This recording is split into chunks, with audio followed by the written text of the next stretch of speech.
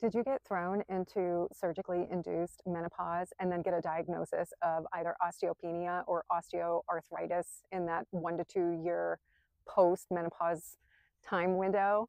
I did too, but this week I got my three year follow up scans. My DEXA scan went from a 2.7, negative 2.7 T score, which is osteoporosis, to a negative 1.1. I swear I'm still reversing this disease. I'm still going back.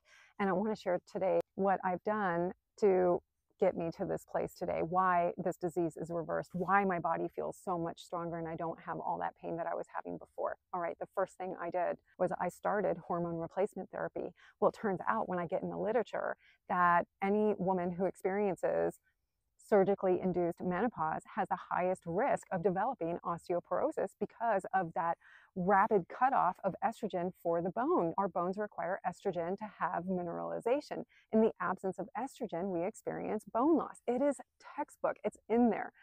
All right, number two, the second thing, biomarker testing. I get it every three months because I'm on hormone replacement therapy and we want to check how my dosage is working with the physiological levels and how that also correlates with my symptoms. So we track these two things together, and that's been a godsend because we can make micro adjustments all along the way. All right, the third thing that I've done, you know, I'm going to say this, it's Qigong and Tai Chi practice. Oh my God, there are three things that Qigong is known for. It's all over the literature preventing osteoporosis, reversing osteoporosis, and keeping the spine fully aligned as we age without that thoracic humpback forming.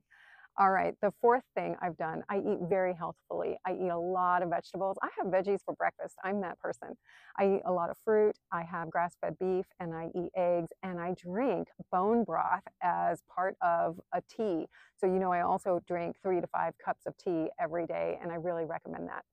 All right, the fifth thing that I do is I keep my nervous system regulated. So we hear all the time stress management, go de stress. You got to figure out how to do that. I want to change that. We don't know what to do with that terminology. We don't know what that means. What we want to really start thinking about is this art of active rest. How do you incorporate moments of active rest in your day every single day. Being out here in nature is a form of active rest. The way you eat is a form of active rest.